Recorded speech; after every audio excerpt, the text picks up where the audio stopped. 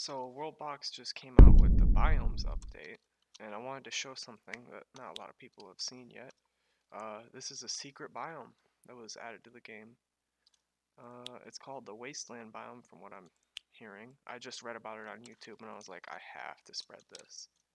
Uh, spawns little little slime guys like this. Fuck. Also, there's like a bug with this new update where you can't click on the icons in the menu. Uh, it spawns these little slime guys with 200 health. Uh, fully livable from what I can tell. They can live in it. No like negative effects.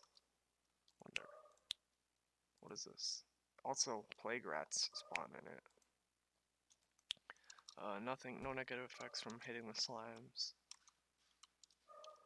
And these cool looking trees. And there's, it doesn't spread like the other biomes. You can only get this uh, by dropping nukes, which I'll demonstrate right here. Only the atomic bomb does this. And then if you want to make the biome its own thing, just come here, take your uh, take your finger tool, and spread the biome like this.